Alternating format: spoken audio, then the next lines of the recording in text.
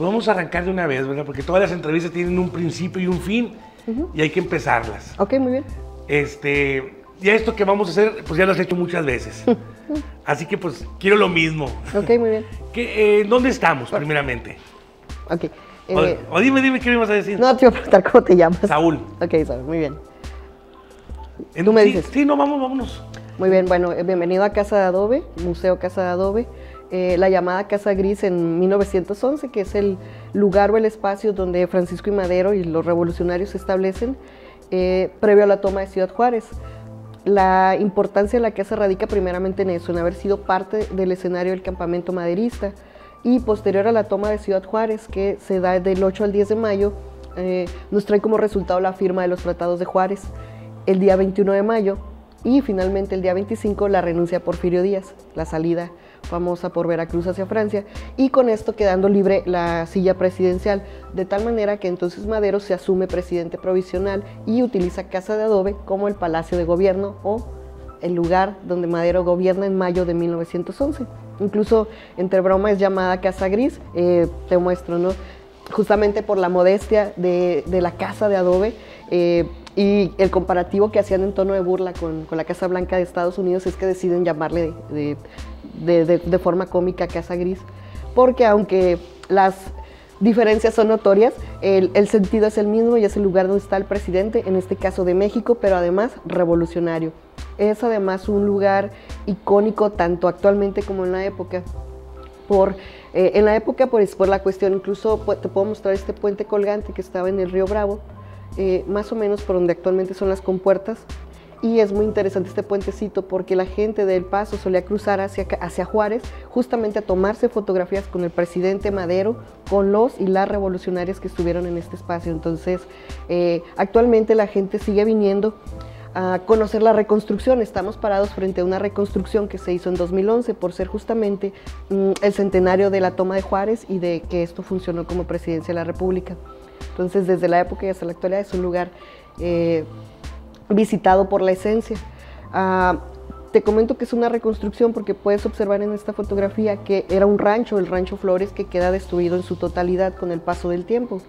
Eh, vemos que el adobe es un material que se deteriora, además del abandono y la falta de conocimiento de la gente en general, tanto gobierno como ciudadanía, que desconocían esta parte de la historia y es hasta 2011 que gobierno y ciudadanía ponen atención a este espacio y se reconstruye para que los, eh, las personas de nuestra ciudad y, la gente que nos visita pues tenga la oportunidad de conocer esta otra cara de nuestra ciudad que es eh, creo que digna de sentirnos orgullosos tanto por la historia regional como nuestra historia nacional.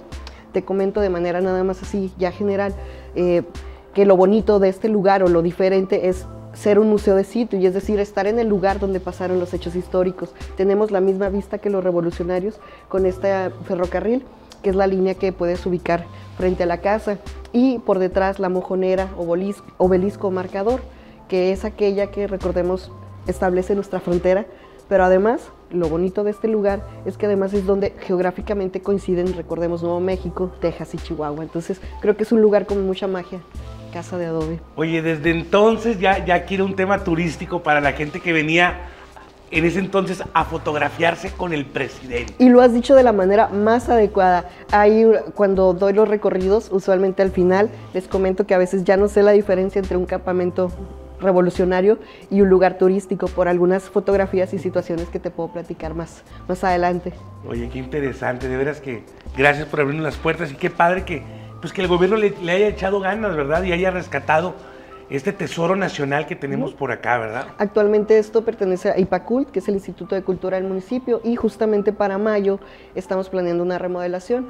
Eh, yo tomo eh, como, como encargado este lugar en octubre y estamos planeando eh, en, conjunto con el Instituto de Cultura precisamente un rediseño. Es algo sencillo, pero creo que necesario. Ya lleva siete años la misma exhibición y estamos planteando básicamente exhibir un tipo de fotografía que no se ha exhibido, que es como de este tipo, que es muy bonita, que es específica de la toma de Ciudad Juárez y de la Casa de Adobe, del campamento.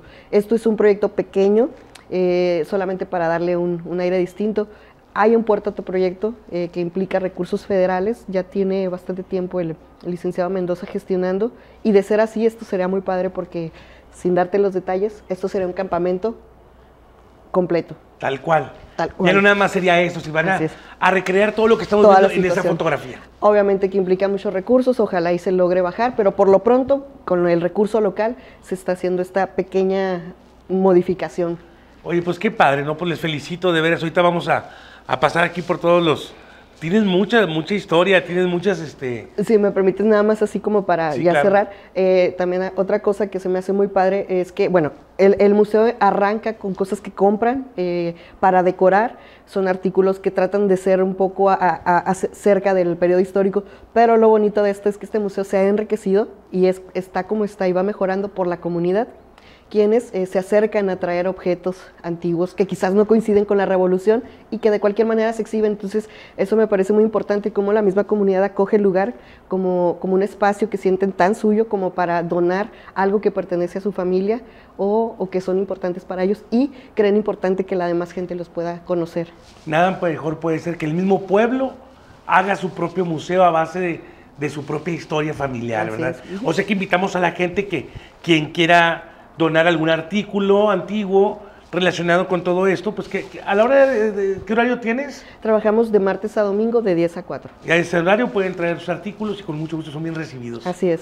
Bueno, vamos adelante, ahorita pasamos más adelante para seguir con esta, con esta entrevista. Muy bien.